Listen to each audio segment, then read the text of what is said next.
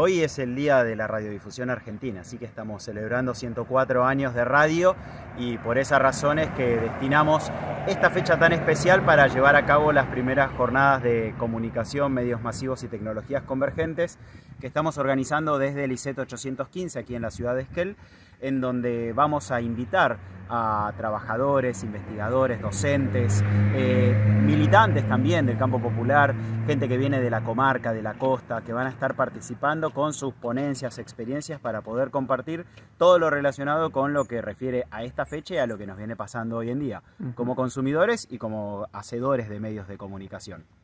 Bueno, la idea es eh, realizar un encuentro que se va a llevar a cabo en dos fechas, hoy martes 27 y mañana miércoles 28 en la Universidad del Chubut. Eh, la intención es generar un espacio para que haya distintos referentes en ese sentido de los medios de comunicación. Por ejemplo, hoy la apertura con la conferencia inaugural va a quedar a cargo de trabajadores de Radio Nacional Esquel y mañana miércoles va a estar a cargo de una conferencia virtual del doctor en comunicación Martín Becerra, es un especialista y referente a nivel latinoamericano que va a estar analizando algunas cuestiones sobre el mapeo de medios en este contexto de digitalización. Así que la intención es que nos demos este lugar como para poder parar un poco la marcha y saber qué nos pasa en varios sentidos. Primero en el sentido de como consumidores, por eso es abierto a toda la comunidad. Eh, no creo que exista nadie en, quienes estén viendo este video que no haya consumido alguna vez un medio de comunicación. Eh, hoy es el día de la radiodifusión, pero también incluimos ahí la prensa gráfica, la prensa digital, televisión, etcétera, etcétera. Y también, por supuesto, las redes sociales. Así que todo eso nos viene atravesando como usuarios y consumidores de esos contenidos que circulan por los medios y también de las noticias, claro está. Y por lo tanto, del lado de quienes formamos a futuros y futuras técnicas en multimedios, en periodismo, en comunicación, tenemos el desafío de seguir pensando todo esto que nos pasa como consumidores y por lo tanto también trasladarlo a nuestras prácticas, rutinas de producción de contenidos. Y por supuesto para quienes están del otro lado, ahora por ejemplo sosteniendo esta cámara, el hecho de pensar cuáles son los impactos que hoy está teniendo en la tarea del periodismo, del comunicador, de, bueno, del periodista. Eh, así que todo esto está transformando bastante el mundo de la comunicación y las tecnologías digitales no son la excepción, por eso hablamos de tecnologías convergentes que hoy se terminan eh, centralizando en un solo dispositivo, en una pantalla, pero que permite ir moviéndose a lo largo de la casa o de los distintos lugares. Bueno, transforma eh, esos modos de consumir. Antes nos teníamos que sentar a esperar un horario para la radio, para la televisión.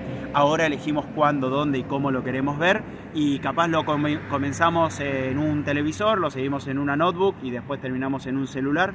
Eh, y eso transforma también eh, las dinámicas de consumo. Antes teníamos más tiempo para hacerlo y ahora los formatos son cada vez más breves, empiezan a aparecer los reels para la parte audiovisual, aparecen los podcasts para el mundo de la radio. Bueno, todo cambia, entonces creemos que estas jornadas, que es una primera gran apuesta que hacemos desde el ICET 815 aquí en la zona y también a nivel regional para poder habilitar este espacio y esperamos que sea la primera de tantas. Y la realidad es que eh, pasó la pandemia hace no más 3, 4 años eh, hace no mucho que todo el mundo accede a la inteligencia artificial.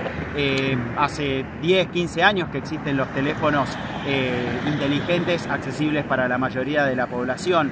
Entonces es muy acelerado la evolución y de algún modo lo que creemos que es necesario es poder no, no asustarnos, en primer lugar, ¿no? Entender que los cambios, bueno, significan algunos, representan algunos temores para algunas personas, como sucedió a lo largo de toda nuestra historia. Cuando apareció Internet también eh, generaron muchas dudas, cuando apareció la televisión creíamos que la radio iba a desaparecer. Yo creo que el desafío está en no adaptarnos pasivamente, no rechazarlo de forma absoluta, sino hacer un uso crítico y también pensar en nuevos usos. Y eso creo yo que es interesante, por ejemplo, la mesa que se va a estar llevando a cabo mañana miércoles que tiene que ver con estas nuevas prácticas y contenidos como los medios de comunicación eh, terminan convirtiéndose en recursos, en generadores de contenido, por ejemplo, para fines didácticos, pedagógicos, para la educación.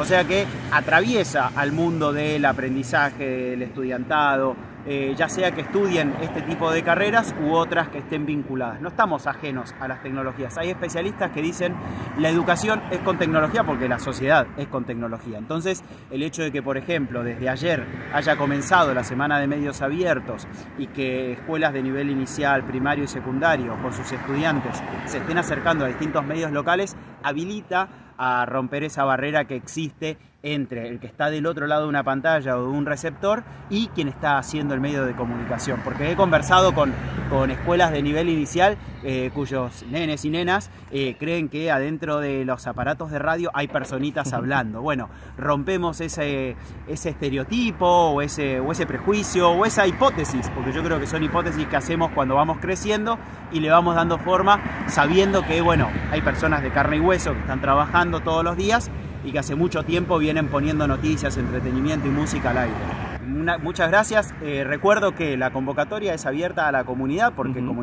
decía, todos consumimos medios de comunicación, así que se pueden acercar mañana martes y el miércoles 28, eh, perdón, hoy martes y el miércoles 28 a la Universidad del Chubut en el auditorio desde las 18 horas van a comenzar estas jornadas y el día viernes también va a haber un encuentro de cine debate sobre estos medios que vamos a estar compartiendo el documental Nada es privado que habla de todo esto que estuvimos conversando.